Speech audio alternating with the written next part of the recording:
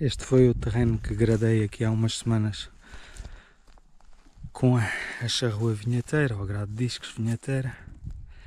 Só que isto aqui, como é bastante fresco, a erva já voltou a crescer. E como choveu, houve aqui uma, uma série de trovoadas, a erva voltou a crescer. Não sei se ainda cá virei mais uma vez, se a deixo ficar até ela secar. O único problema é que, pronto, pode haver incêndios. Aqui as oliveiras, as oliveiras arbequinas têm aqui bastante azeitona. Mesmo aqui esta galega já antiga também tem bastante azeitona.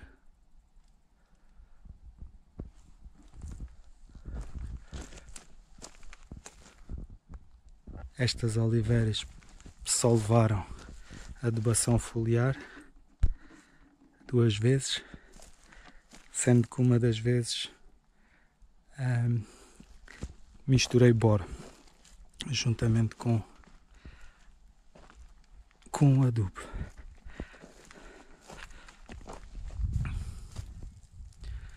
Já tem aqui bastante azeitona e já bastante grossa.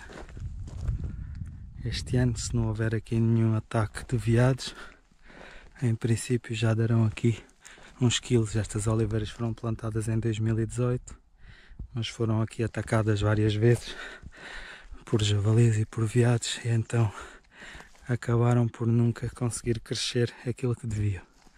Mas este ano parece que vão bem encaminhadas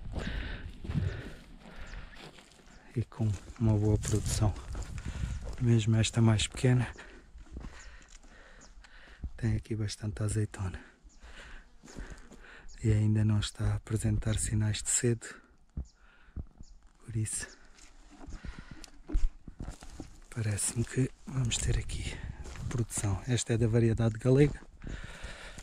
Também tem aqui bastante azeitona. Nota-se logo a diferença que as arbequinas a azeitona é muito mais redonda e as galegas e a galega é muito é mais sobrecomprida. Esta levou uma grande limpeza no ano passado, mas deixei-lhe a rama suficiente para ela produzir. E ela efetivamente está a produzir e tem aqui bastante azeitona e está bonita e renovada. Estas também são galegas. Também tem aqui uma boa produção este ano. Vamos lá ver se não vêm aqui os javalis ou os veados fazer estragos. E é assim.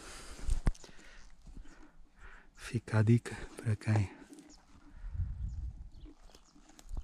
queira plantar umas oliveiras e ter o próprio azeite.